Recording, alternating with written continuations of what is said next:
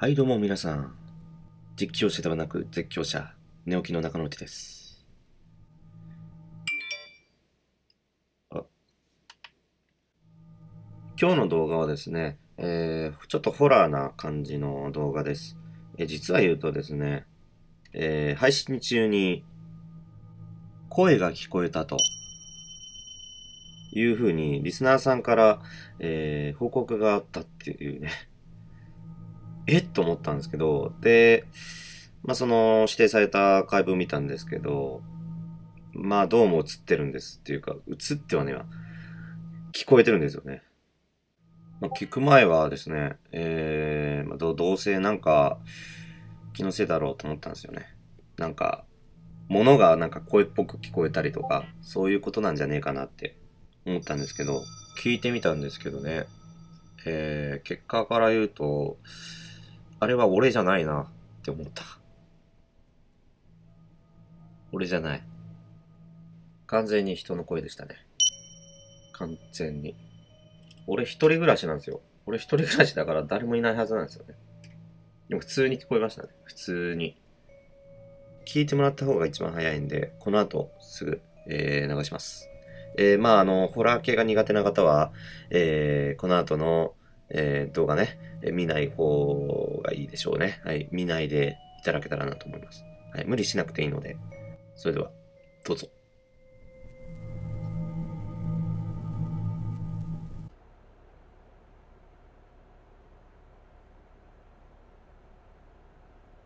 いるか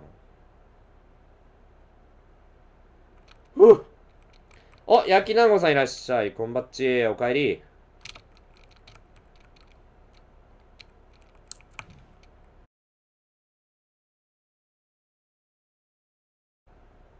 いるか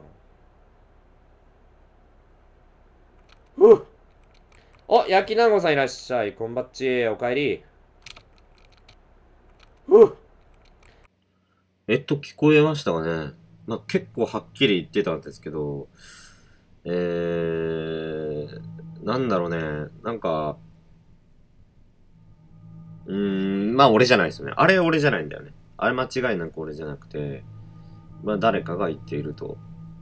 VC を、えー VC をね、えー公開してたかとか、えー言われると思うんですけど、その時してなかったですね。絶対してないです。大体ノラの時は、まあ、今日最近はもう全然してないです。オープンにはしてないので、えー、ノラの声は聞こえないはずです。はい。じゃああれは何なんだってなった時に、はい、という、はい、ちょ、画面上に出てるやつかな？うーん、と思うんですけどね。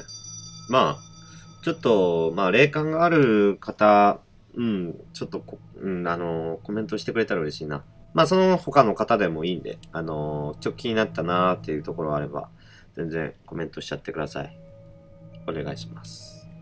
これ本当に加工も何もしてないんで、はい。そのまま載せてますんで、はい。ということで、えー、ちょっと締めっぽくなっちゃったんで、じゃあ私の、えー、まあギャグでね、この動画終わりたいと思います。えー、と、じゃあ、韓流のアーティストが、えー日本の曲を歌った時の、えー、モノマネします。あまずは普通でいきます。普通、普通バージョン。ありたけの夢をかき集め探し物探しに行くのさワンピース韓流、韓流アーティスト。